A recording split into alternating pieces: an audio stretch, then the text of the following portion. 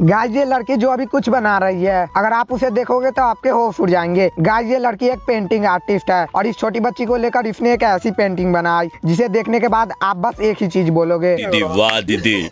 Guys इस लड़की का चैनल मैंने डिस्क्रिप्शन में डाल रखा है जिससे जाके आप फुल वीडियो देख सकते हो। लेकिन उससे पहले इस वीडियो को एंड तक देखो। स्किप करने की गलती बिल्कुल मत करना क्योंकि वीडियो बहुत अमेजिंग होने वाली है। तो गाइस फाइनली पेंटिंग तैयार है। आपको पेंटिंग कैसी लगी कमेंट्स में बताएँ।